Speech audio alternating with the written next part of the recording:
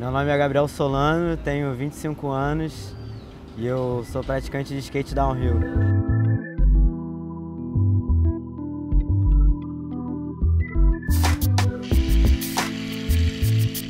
Aqui no Rio a gente costuma andar no Sumaré e à noite tem um drop que a gente faz na Grajaú Jacarepaguá. Minha manobra preferida é o toe speed check.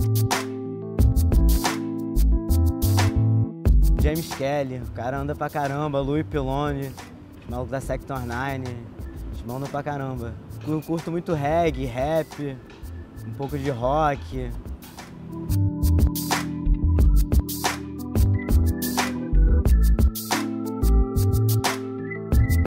Esse ano eu vou entrar nos campeonatos aí, correr atrás, fazer meu nome e basicamente isso, é skate,